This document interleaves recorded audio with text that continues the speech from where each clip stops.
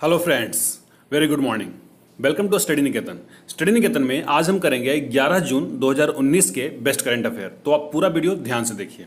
अगर आपको वीडियो पसंद आए तो वीडियो को लाइक कीजिए। तो चलिए स्टार्ट करते हैं आज का पहला सवाल। बीते दिनों देश के किस ऑटोमोबाइल कंपनी ने दक्षिण अफ्रीका में गोल्ड अवार्ड जीता है? तो option A is right answer Mahindra Mahindra and Mahindra जो आ, गाड़ी बनाती है उसे दक्षिण अफ्रीका में गोल्ड अवार्ड मिला है, ठीक है? और इस, दिया है किसने? तो नेशनल ऑटोमोबाइल डीलर एसोसिएशन ने, ठीक है? आगे बढ़ते हैं। बीते दिनों किस भारतीय खिलाड़ी ने अंतर्राष्ट्रीय क्रिकेट से संन्यास की घोषणा की है? बहुत ही इंपॉर्टेंट सवाल है, क्योंकि ये हैं युवराज सिंह। युवराज सिंह ने अब इंटरनेशनल क्रिकेट से संन्यास लेने की घोषणा कर दिया है, ठीक है? इनके थोड़ा सा कैरियर पर नज़र डालेंगे तो इन्होंने कुल चालीस टेस्ट मैच 304 ओडीआई और अंठावन टी ट्वेंटी मैच खेले हैं, जिसमें से सबसे सफल रहे ये सत्तासी सौ एक रन ओडीआई में बनाए हैं। आगे बढ़ते हैं। बीते दिनों प्रयुत चान ओचा किस देश के नए प्रधानमंत्री होंगे? तो ये बने हैं थाईलैंड के। थाईलैंड में इन्होंने अपना चुनाव जीता है और अब ये वहाँ के प्रधानमंत्री बनेंगे। यही हैं वो Chan ocha Prayut Chan ocha. ठीक है, राजधानी कहाँ है जी थाईलैंड के? बैंकॉक और मुद्रा वहाँ का है बहत। देखिए बैंकिंग में तो बहुत इंपॉर्टेंट हो जाता है वहाँ के करेंसी पूछा जाता है जी। ध्यान में रखेंगे आप। आगे बढ़ते हैं। बीते दिनों किसने 2019 के कनाडियाई ग्रैंड प्री में रिकॉर्ड तोड़ सातवीं जीत हासिल किया है?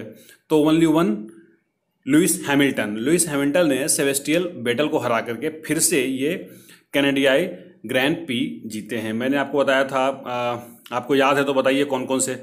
चाइना के बाद स्पेनिश स्पेनिश के बाद ये फिर कैनेडियाई। और चाइनीज़ से पहले कौन से खिताब जीते थे वो? मोनैको, ठीक है? आगे बढ़ते हैं। बीते दिनों किसने रिकॉर्ड बारहवीं बार फ्रेंच ओपन मेंस सिंगल का खिताब जीता है? तो ऐसा करने वाले ये राफेल नडाल हैं। स्पेन के खिलाड़ी हैं ये। राफेल नडाल ने बारहवीं बार फ्रेंच ओपन जीता है। ग्रैंड स्लैम होते हैं चार प्रकार के, उसमें से ये फ्रेंच, दूसरा है जी, ठीक है? पुरुष में ये राफेल नडाल जीते हैं और महिला में मैंने कल ही बताया था आपको, एसले वाटी जीते हैं, जो कहाँ के हैं? ऑस्ट्रेलिया ऑस्ट्रेलिया के, ये पहली बार जीते हैं, ठीक है? आगे बढ़ते हैं। बीते दिनों प्रसिद्ध गिरीश कर्नाड का इक्यासी वर्ष के उम्र में निधन हो गया। वे कौन थे? तो वे अभिनेता भी थे फ़िल्म निर्माता भी थे नाटककार भी थे। तो उपरोक्त सभी ये सब के सब थे गिरीश कर्नाड। उनका एक इमेज देखेंगे आप। आपको पहचान में आ जाएँगे। अगर आपने आ, टाइगर ज़िंदा है या एक था एक था टाइगर देखा होगा तो। इन्हें उन्नीस में ज्ञानपीठ पुरस्कार से सम्मानित किया गया था, जो भारत का सर्वोच्च साहित्य सम्मान है। इन्हें पद्मश्री और पद्म भूषण सॉरी पद्म भूषण से भी सम्मानित किया गया है। आगे बढ़ते हैं। बीते दिनों भारत का सबसे मूल्यवान कंपनी कौन बना है? तो मैंने कुछ दिन पहले बताया था कि टीसीएस को पीछे करके रिलायंस बना है, लेकिन आप एक बार फिर से टीसीएस आगे निकल गया है रिलायंस से। तो अब आप याद रखेंगे TCS, Tata Consultancy service India का सबसे मूल्यवान कंपनी बन गई है। फाउंडेड इन 1968 फाउंडर कौन है? एफ़ सी कोहली और टाटा सन्स हेडक्वार्टर मुंबई में है। नटराजन चंद्रशेखरन इनके चेयरमैन हैं और Rajesh Gopinath MD and CEO हैं। तो एमडी एंड सीईओ और चेयरमैन का नाम आप याद रखेंगे। आगे बढ़ते हैं।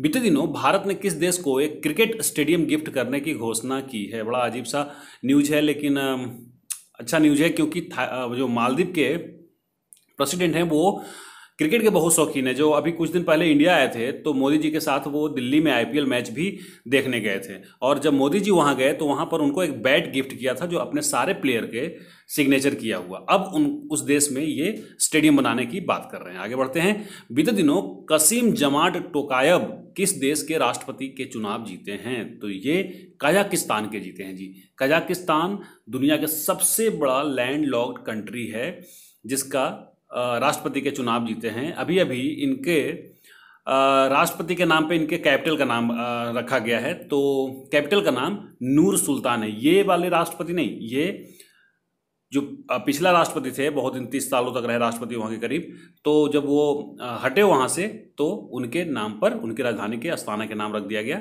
नूर सुल्तान। आगे बढ़ते हैं और लेते हैं जवाब सैंतालीस के। बीते दिनों एमनेस्टी इंटरनेशनल पुरस्कार किसे दिया गया है?